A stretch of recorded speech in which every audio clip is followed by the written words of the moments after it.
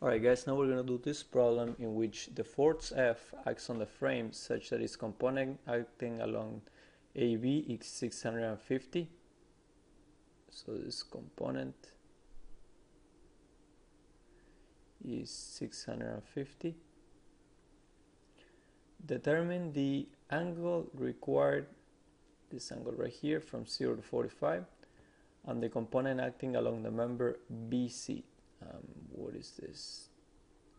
And we know that f is equal to 850 and this angle is 30 so we're gonna move this force over here forming a parallelogram.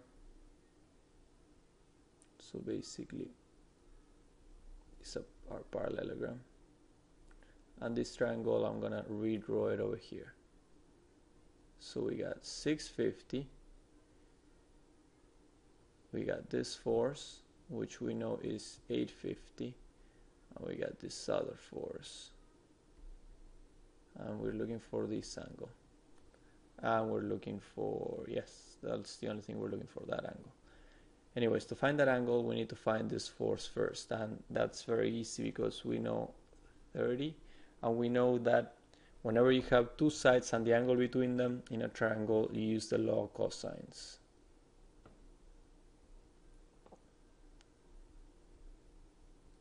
Now the law of cosine says c squared is equal to a squared plus b squared minus 2ac cosine of c. Now 650 square plus 850 square minus 2 times 650 times 850 cosine of 30. You do this calculation, you square root it, and you get C, which is equal to the BC component, which is equal to 433.64. Now that we got this component, let me write it on our triangle for reference. We can find this angle this whole angle, not the angle that we're looking for, with the law of sines.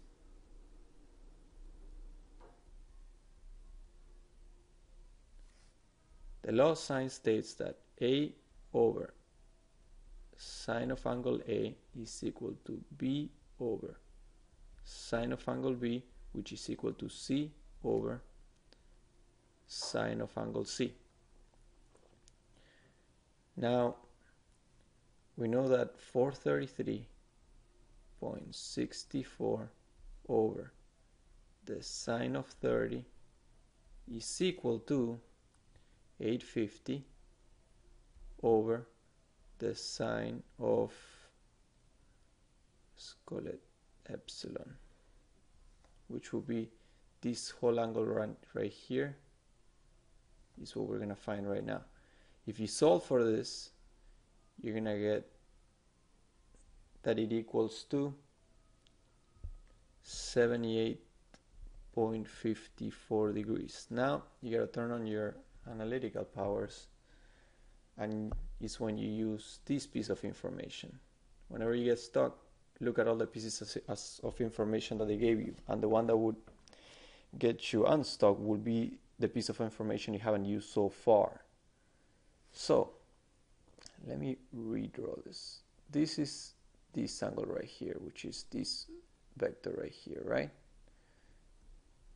And we know that this angle is 45, which is this one right here, which means that this angle is also 45 right here, which means that this angle is also 45 which means that this angle right here is also 45 so as you can see this number that we just found minus 45 will give us the angle that we're looking for which is 33.54 degrees. Final answer